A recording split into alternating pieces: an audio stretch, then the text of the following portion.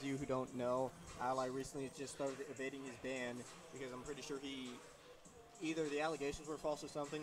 So this is his first tournament back, so he's out of local, and so that stream is blowing up. It has the highest view count besides G7 and Evo.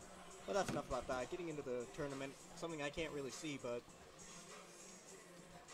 I'm sure things are happening. You know what? I'll just move my. Oh, there we go. We got Wii Fit versus Corrin.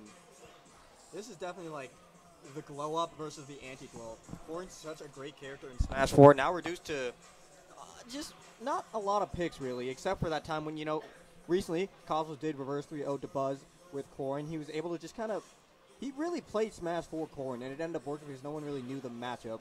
And then we have Wii Fit, who wasn't a great character in uh, Smash 4, but in Ultimate, just a monster of a character. A lot of the things that really changed about is just that you know, she has that deep breathing limit, and just her moves hit so hard, jumping right into that uh, into that medicine ball. He was back in, in the blast zone. Not really the time you want to be doing that. Igglybuff off to a great start. Uh, just jumping right out of the jabs. Uh, Radio kind of just pressing a lot of buttons, not really trying to avoid anything that Iggly is throwing out at him. But I'm not going to count him out just yet. All right, up throw, up air, doing a lot of damage again. Igglybuff doing a great job to make sure that deep breathing is on uh, on deck. I don't know how that back air didn't hit, but we know we'll take that. All right, Radio now resetting back to neutral, gets hit by the medicine ball again. Wow, Igglybuff had so much time to launch that up. Oh my god, the bite didn't even hit him! Jumps right into the medicine ball again. But we're still here.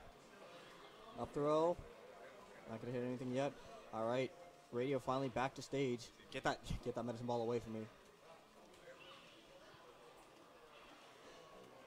Oh, air dodge is off stage. Not a recommended move to, to do.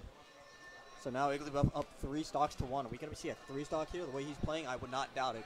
Gets a big F smash. Not going to get the tipper, though.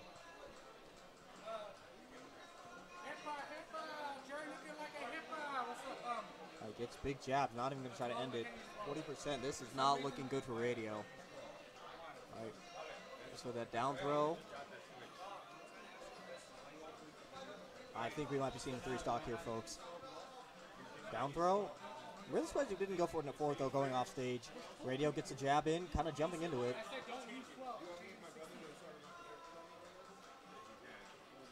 Oh, that big back air coming up, going off.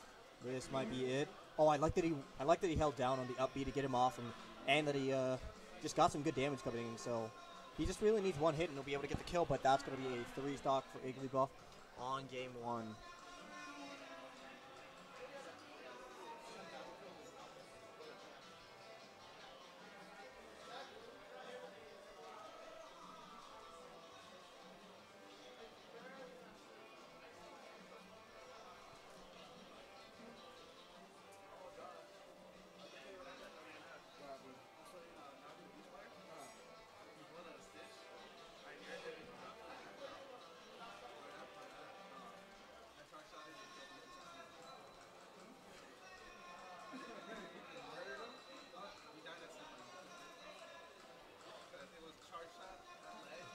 Into game two now. We're going to be seeing no switches from either player, which doesn't really surprise me.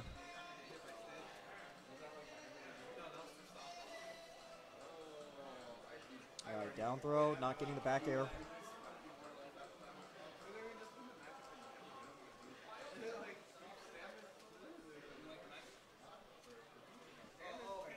Alright, I'm back. I guess the pin jumps over it, jumps over the medicine ball.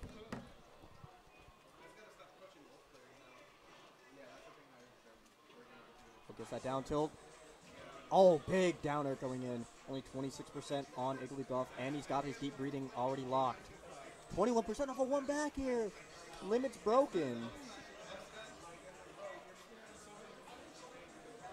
Uh, gets that big F smash, but at the uh, base hit, so not going to be as strong.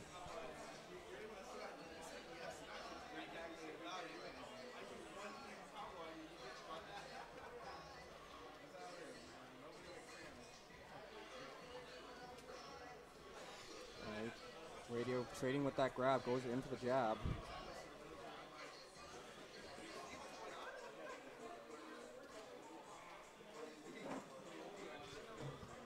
Yeah.